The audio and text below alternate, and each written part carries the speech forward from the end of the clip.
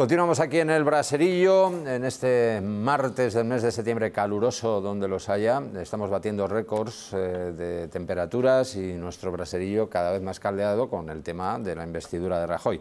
A mí me gustaría ya terminar este tema para hablar de otros temas que están relacionados pero que no son directamente de lo que sucedió en el Congreso. Pero Carmen Río Lobos me pide paso para responder y eso me va a obligar a dar paso a los demás para que se respondan. Pero va a, ser, un turno muy breve, muy breve, querido moderador. Vamos a ver, eh, ha, hecho una, afirmación Guadalupe eh, con una acusación que a mí me horroriza el y tú más. Pero es que, claro, cuando el PSOE intenta siempre hablar de la corrupción en el Partido Popular, que nosotros estamos en contra de la corrupción, hemos apoyado, aprobado medidas con Ciudadanos que eran las mismas que había aprobado el Partido Socialista contra ella, porque todos estamos de acuerdo y la mayoría de los políticos son gente honrada, sensata, honesta, trabajadora, que trabaja como un servicio público y que no lo hace por aprovecharse. Pero hay sinvergüenzas en todos los partidos. Y mira, te voy a decir los que tú tienes. Caso ERE 855 millones 279 imputados. Caso formación, 3.000 millones 196 imputados. Facturas falsas de UGT, 15,3 millones 18 imputados. Avales a empresas, 82,3 millones, 4 imputados. Subvenciones a las unidades de empleo, 15,3 millones, 18 imputados. Invercaria, 60 millones, 30 imputados. Eh, fondos Jeremy, 185 millones. Y la Bahía de Competitiva de Cádiz, 21 millones, 31 imputados. Tenéis multiplicado por 10 lo que pueda tener el Partido Popular, incluido dos presidentes de comunidades autónomas. Por lo tanto, en corrupción no digáis nada, porque cada vez que habláis en el Partido Socialista metéis la pata. Primera cosa. Segunda cosa, el gobierno del Partido Popular, que decía antes eh, Javier, que es que, mm, es que las políticas son nefastas y los hemos hecho fatal. Bueno, pues el presidente del gobierno ha estado en el G20 en China y se le ha invitado a contar las políticas que se han puesto en marcha en España para crear empleo mejorar la economía, porque es que no nos acordamos de cómo encontramos España después del gobierno del Partido Socialista con tres millones y medio más de parado. Es decir, que es que en estos cuatro años los españoles han hecho un esfuerzo enorme y el gobierno ha hecho todo lo posible porque ese esfuerzo se tradujera en políticas de empleo. Y luego, en relación con Podemos, lo digo porque os estáis metiendo mucho con el Partido Popular y algo os tengo que decir, vosotros no llegasteis a un acuerdo con el Partido Socialista porque es que mm, habíais mm, demostrado y habíais contado una serie de políticas que queríais hacer, lucha contra las hipotecas, lucha contra los desahucios, lucha contra en temas de educación, en temas, la letanía esa que tenéis siempre hablando de que el Partido Popular ha hecho todos los recortes del mundo y alguno más. Y ahora llega este verano, por ejemplo, en Castilla-La Mancha y el Partido Socialista cierra las urgencias, cierra camas enteras, tiene las listas de espera disparadas y tal, y estáis callados que no decís absolutamente nada. Es decir, que no decís nada porque estáis cogobernando con ellos subir los impuestos y tampoco decir, perdona, y tampoco, y tampoco decir, ¿Están cerradas las urgencias? Sí, sí, no, no, habéis cerrado plantas enteras, habéis cerrado muchísimas camas, tenéis colapsadas las urgencias, tenéis colapsadas, hombre que no. ¿Has dicho cerradas las urgencias? sí, de algunos centros de salud, como por ejemplo en Toledo, que todos los sábados por la mañana poníais el día anterior un cartelito diciendo este centro de salud se cierra, en lugar de decir va a estar cerrado los tres meses de verano. no, cada semana lo decíais. sí, la cantidad de profesionales que se han incorporado? Perdona, y, ¿Eso lo vas a negar? Es que no es cierto, es que no es cierto. ¿Que no es cierto? Pero si no habéis hecho sustituciones. No habéis hecho ni el 70% de las instituciones que teníais que hacer este verano de la gente que se iba de vacaciones. No, es, el Guadalupe, no vamos a monopolizar Guadalupe, esa es la realidad de lo que ha pasado. Carmen, no, no, no miento, no, es verdad, y ahí es verdad. Lo dejo. Déjame terminar. Podemos. Claro. Vosotros defendíais... Era breve. No, no, sí, ya, ya No, es que de breve, lo breve, breve. Que defendían una serie de temas. Y luego cuando intentaron gobernar con el Partido Socialista, en las negociaciones, ¿qué es lo que pedían? Pido defensa, pido el CNI, pido televisión. Es decir, todo lo que no tenía nada que ver con lo que habían sido las políticas que habían defendido siempre, porque en realidad se os ha visto el plumero. Y vosotros defendíais unas cosas, pero a la hora de gobernar queréis otras completamente distintas y no llegasteis a un acuerdo porque lo que queríais era poner al señor Sánchez de presidente, pero gobernar vosotros. Ese es el tema. Y luego yo coincido con Antonio que es una barbaridad que el Partido Socialista siga coqueteando con los independentistas. La unidad de España no se negocia no se negocia. Y nosotros, bueno, pues es que, pues que parece que seguís insistiendo en los 180 y contáis con Esquerra Republicana de Cataluña contra los independentistas Guadalupe, en 180. Venga, te toca. Yo, vamos, Contesta. voy a ser muy breve. No se puede venir a este programa a mentir. Y lo que se ha dicho en, estas últimas frases han sido pues, pues una ristra de mentiras increíble. se han contratado profesionales, hay eh, eh, mucha mejor atención, con sus defectos que todavía los hay, se han reducido las listas de espera, se ha dejado de desviar gente a, Madrid a las clínicas privadas. 40.000 Más otros 50.000 que se han ido. Ya no digo, ya no digo nada más. Carmen, por favor, no interrumpas. Ya no, di, ya no, di, no, di, si, bueno, no es culpa no mía. La, no, si no es culpa tuya, pero esta, me interrumpido a mí, mi esta dinámica no le he dicho de, nada. De, de, acaparar absolutamente tantos minutos en un debate. Si, si venimos a hablar de sanidad, venimos a hablar de sanidad y no tengo ningún problema. Pero lo que no se puede es venir a este programa a mentir y lo que ha dicho es mentira. Y yo tengo que decir que es mentira y que no es cierto. Al Partido Popular lo que pasa es que le está sentando mal que los ciudadanos perciben que después de los muchos recortes que ha sufrido la sanidad en Castilla-La Mancha, las cosas van un poco mejor. No estoy diciendo que vayan totalmente mejor, un poco mejor. Y por cierto, Carmen, solo una cifra. Se han sustituido el 50% de las vacaciones en primaria no tienes nada más que ir. Eh, eh, aquí en Vargas hay un Tú centro de salud. pueblos. En Vargas, en Vargas hay un centro de salud. Pregunta de los consultorios que pertenecen al centro de salud de Vargas cuántas sustituciones se han hecho y cuántos se han sustituido en los Vete a los hospitales. pueblos con el doble de Pregúntalo, población y sin pero doblar que- las guardias, eh, en ningún pueblo. Pero vamos a ver, si quitasteis el refuerzo de verano, Es que Carmen, tengo que quitasteis en Escalona, que, que no es que duplique ni triplique ni o sea, es que se multiplica la población de forma escandalosa no y las los guardias, refuerzos. no y habéis- este no año habéis- no. se han reforzado las Bueno, guardias en en Escalona, Escalona. a lo mejor se lo y se, y se han cubierto y se han hombre, te estoy hablando de Montalbán, Escalona. vete a la Puebla de me vas a decir triple de población me vas a y decir teniendo los centros, Carmen, los puntos de favor. atención Carmen, por favor. con la gente haciendo guardia. Me vas a Carmen, decir ya. que hay. Lo primero, la Puebla de Montalbán es uno de los centros de salud donde, donde se cubren vacantes que había. Ahí te has equivocado. Pero Sí, eh, la misma población de alcaldesa. verano no es la que hay. eh, mm, bueno, claro, la, alca- Vamos a la ver, no alcaldesa. vamos a hablar- no vamos a hablar No, de- de déjame sanidad, que termine termina, la frase termina ya, que, sí, que pero es que tenía no te. Lo que no se puede es decir que el aumento de la población de Escalona es el aumento de la población de la Puebla de Montalbán, Carmen. Tu alcaldesa, como cualquier alcalde, defiende su territorio, pero el centro de salud de la Puebla de Montalbán ha sido reforzado, No igual verdad. que el de Villaluenga. El día de las fiestas. Pregúntaselo. El día de las fiestas. eh, No es verdad. Ya, ya. ¿Algo Yo- que añadir no, a, a este no- lo sabemos, yo creo que, palabra. yo creo que las personas que nos estén viendo dirán, ¿y cómo vamos a formar un gobierno?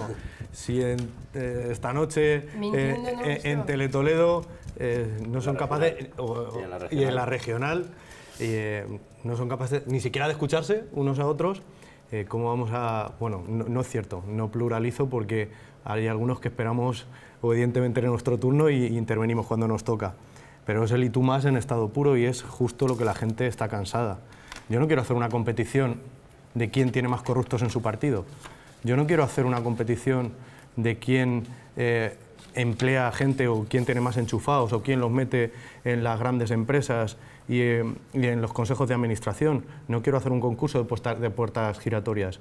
Yo quiero hacer un concurso de quién es capaz de limpiar su partido de la mejor manera posible y quién lo hace de la manera más eficaz y quién toma ejemplo para hacerlo y quién si descubre una persona que ha metido la mano en la caja o que no está haciendo las cosas como debe, lo aparta automáticamente. Y eso es lo que la gente quiere ver. Y no quiero otra, otra competición de otra cosa. Quiero que la gente de una vez diga que estamos cambiando las cosas. Y estamos cambiando las cosas cuando quitamos, apartamos a esas personas que por cierto son la minoría de- cuando están haciendo las cosas mal, pero hay que hacerlo. Y en este caso, eh, el Partido Popular no nos ha dado el ejemplo con el ministro Soria justo después de aprobar un documento. Espero que a partir de ahora sea así. Firmamos y llegamos a un acuerdo y que a partir de ahora el que meta la mano en la caja vaya fuera. El que haga políticas que no son las que tiene que hacer, el que coloque a sus amiguetes, se ha terminado, por favor, se ha terminado. Y eso es lo que la gente quiere oír. Sí, yo como tengo la completa seguridad de que nuestros espectadores son mucho más inteligentes que los tertulianos, pues tampoco voy a abundar mucho en la perorata que ha hecho Carmen Roblevos hace un momento, pues estoy convencido que se han dado cuenta que se ha inventado la mitad de las cosas que ha dicho. ¿no? O sea, porque si esto fuera un programa de humor, pues colaría lo de que Rajoy ha ido a presumir, a presumir de políticas activas de empleo al G20, ¿no? Mm, Pero como todos sabemos que nuestro país es uno de los que tiene más paro estructural, eh, casi un 25% en toda Europa, tengo mis dudas de que lo haya, tengo dudas que lo hayan llamado, que lo hayan llamado para, para eso. Y solo una cuestión muy, muy rápida. Efectivamente, sinvergüenzas los tenemos todos en todos los partidos, eso no cabe la menor duda. Y yo asumo también que en Izquierda Unida hemos tenido algún sinvergüenza, por supuesto. Algún, algún ladrón, vamos, algún corrupto, ¿por qué no decirlo? Eso es una cuestión. Utilizar el partido como trama organizada de corrupción para lucrarse con contratos de obra pública en perjuicio de los ciudadanos es otra muy distinta. muy, muy distinta. ¿eh? Utilizar el partido como trama organizada criminal es una cosa muy, muy distinta a tener sinvergüenzas en cada uno de los partidos. Y por cierto, en entre esos ciudadanos en prejuicio de los cuales se produce la corrupción están también aquellos que desahucian de sus casas, que algunos nos hemos empeñado efectivamente en hacer bandera de esa lucha contra los desahucios. Eso que tú has llamado una letanía y que para nosotros es una prioridad total y absoluta en cualquier país eh, que se llame mínimamente democrático. ya está. Si no dice que, eh, a ver, lo, que quería, lo que pasa es como habla tan acelerada. A ver, si vas a apostillar No, lo que ella dice es que, es que vosotros defendíais eso, pero que luego cuando llegasteis a gobernar no queríais eso, queríais otras cosas. Nosotros no hemos llegado a gobernar todavía. No, pero que si llegaba. Lo que pasa es como se acelera, ¿no? Ya me toca. Sí, sí. Suerte. La verdad que se pierde, se pierde el hilo con esto del de, más, pero yo, creo que a partir de ahora, tanto a Guadalupe como a Carmen, porque Guadalupe está ahí también, las van a, las van a llamar las breves, porque las dos son breves, breves con sus explicaciones. Eh, bueno, yo un poco la línea de lo que decía Javi, desde luego que sinvergüenzas hay en, en todos los partidos, eh, y, yo creo que lo que hay que hacer efectivamente es eh, combatir eso, pero esperar, Esteban, que el Partido Popular sea el que pueda abanderar la regeneración y la lucha contra la corrupción, cuando efectivamente es eh, una organización criminal, que no lo digo yo, sino que lo dicen los jueces, pues yo creo que está, que está complicado. Y eso desde luego es lo que nosotros hemos dicho. Es que es una barbaridad, María, lo que estás diciendo ya. Vamos a ver cómo puedes decir eso. Trama organizada. O sea, no lo digo una cosa, pero vamos a ver una cosa. Carmen, mira, de verdad, no me interrumpas. Perdona, María, no, es que hay personas, hay personas de nuestro partido que han sido eh, acusadas por un sinvergüenza como es nuestro tesorero, que es un auténtico sinvergüenza y que es una persona que ha estado en la cárcel y que está imputado, y que ha ganado los tres pleitos. Es decir, que es que no se puede permitir que todo el que diga todas las barbaridades del mundo... Vamos a ver, al Partido Popular, ¿Cómo puedes decir eso, hombre? Espérate, no, hay, no, hay, nada eh, juzgado, vamos hombre. A ver, vamos a ver, vamos a poner un poco de cordura. Criminal, Carmen, por, favor, un poco de cordura aquí. Al Partido Popular ¿Eh? no le han condenado ni le están juzgando. Está simplemente como, se dice... No, aparte de. No. Cuando María, vosotros venís de donde venís, os habéis dejado financiar porque os habéis dejado financiar, hombre. O sea, tiene una responsabilidad solidaria. Subsidiaria. Subsidiaria en este caso, pero. Está imputado por corrupción, Chema. Pero que no, el partido. Que no está imputado. Que no está imputado. Pero ¿cómo vas a un partido imputarle? Tendrás que imputar al presidente del partido o al secretario. No puedes imputar a un ente. Es imposible. Pero no al partido como tal. Pero que no es el partido que no es el partido, pero estáis empeñados. No se puede imputar a una... el Partido Popular es una organización criminal. Hmm. Pero vamos a ver cómo si decimos ahora que Podemos, porque se está financiando por países que son como son y que están haciendo lo que están haciendo, es una organización criminal, hombre, por favor. O porque tenga tres o cuatro o cinco yo no soy de Podemos, pero que eso también lo han ganado los tribunales. Claro, claro. Vamos a ver, yo hasta, hasta el momento lo que conozco... Si, hay, por favor, María. Carmen, por favor, ¿Eh? termina si hay otra eh, orden judicial que yo desconozca, pero hasta ahora simplemente es, responsable subsidiario por eh, todos los, eh, sí, por esos cuatro excesoreros hmm. que están siendo los que están siendo juzgados pero que son los que están implicados, no el Partido Popular. El Partido Popular es, subsidiario. Si el partido, si el no, no, perdona, te lo estoy diciendo como periodista.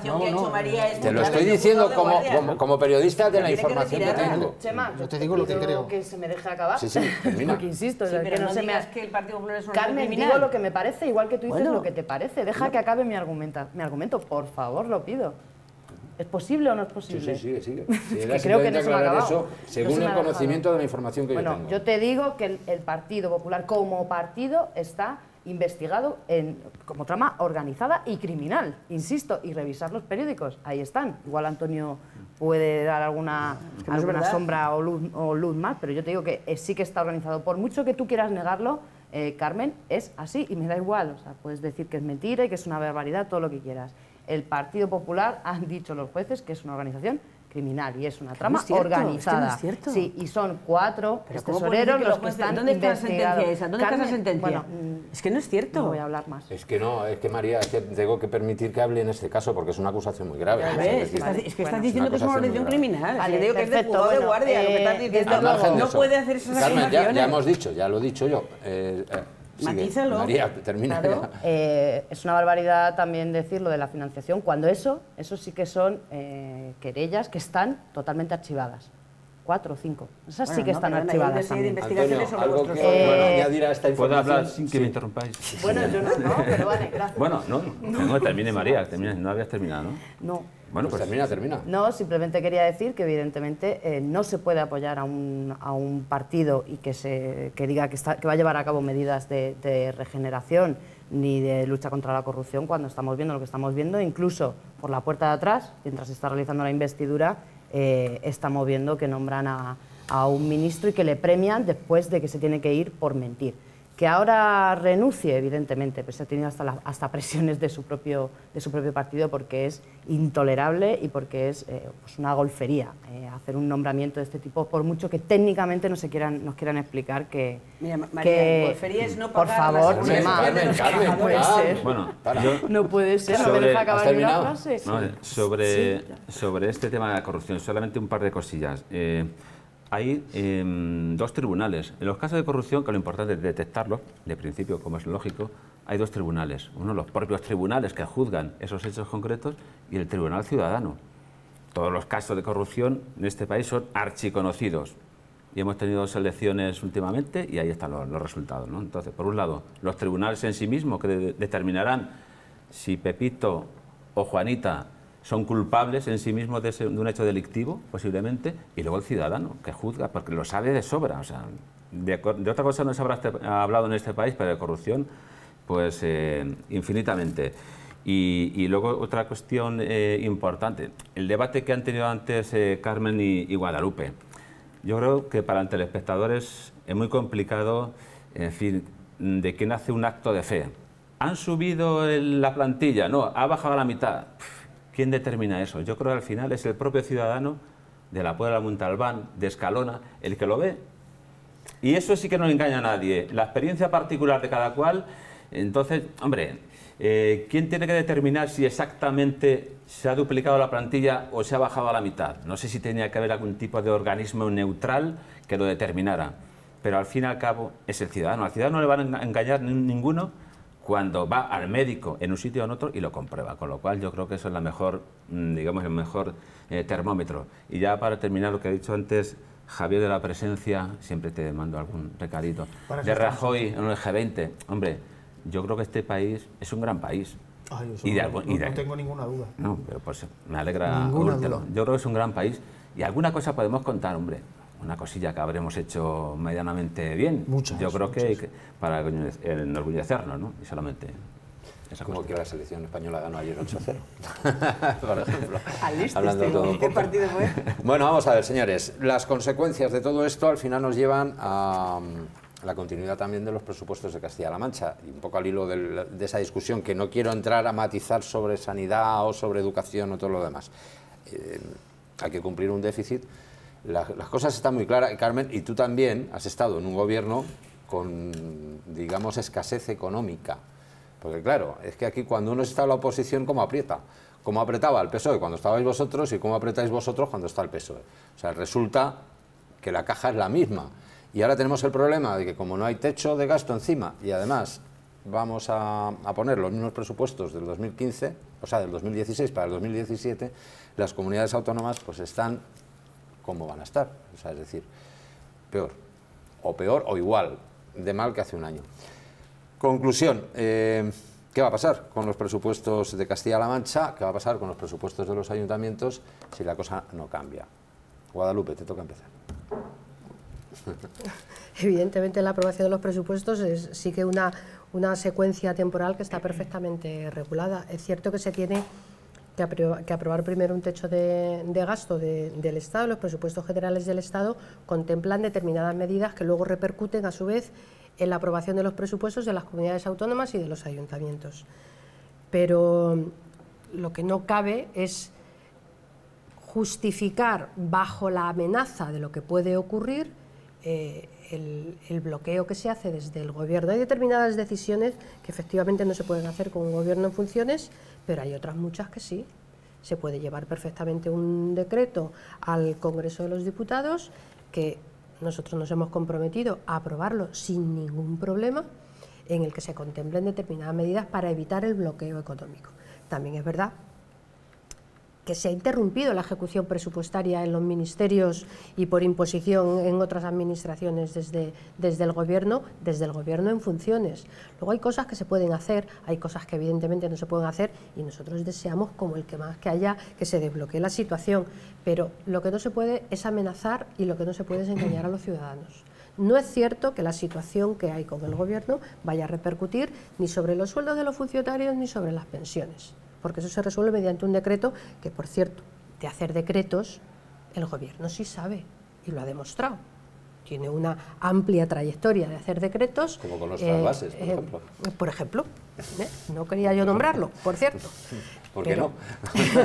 pero eh, evidentemente, bueno, de todas formas en la intervención también hizo Rajoy bandera de su posición con el, con el trasvase. Lo que pasa es que yo, lo, claro, no tienes la posibilidad de invitarle en ese momento al señor Rajoy y decir, váyase usted a ver la cabecera del Tajo, a ver cómo está. Que con ir y verlo mm, no es ni el...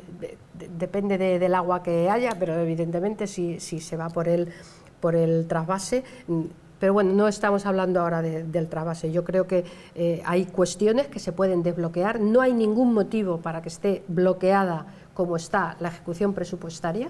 No hay ningún motivo y no hay ningún motivo para estar ni imponiendo y amenazando a las comunidades autónomas que no pueden hacer sus presupuestos, porque en, una gran parte sí lo pueden eh, hacer, aunque luego se tengan eh, que, ajustar determinadas partidas.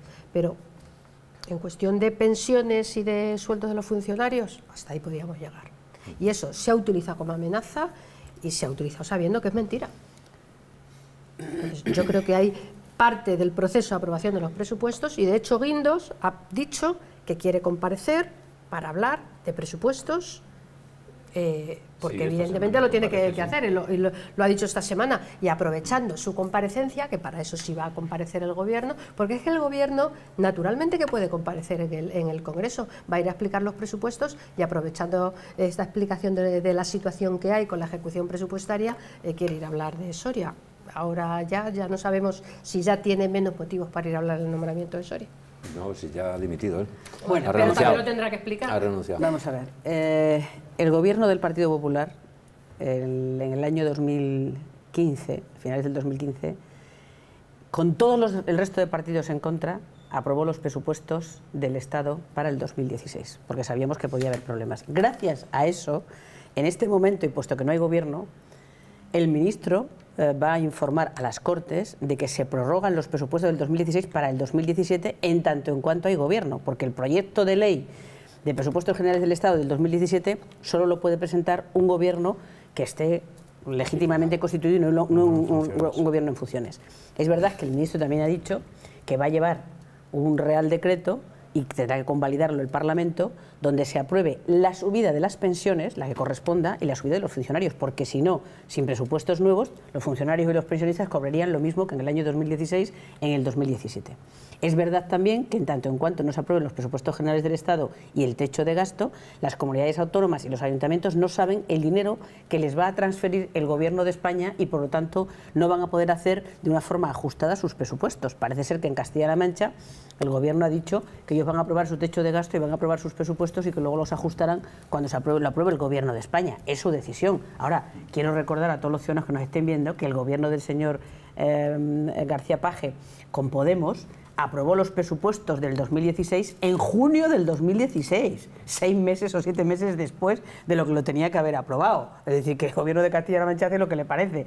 De hecho, hay muchísimas ayudas, muchísimas subvenciones y muchísimas cosas que no se están gestionando bien porque se han aprobado los presupuestos del 2016 en junio del 2016. Esa ha sido la realidad del gobierno de Castilla-La Mancha hasta ahora.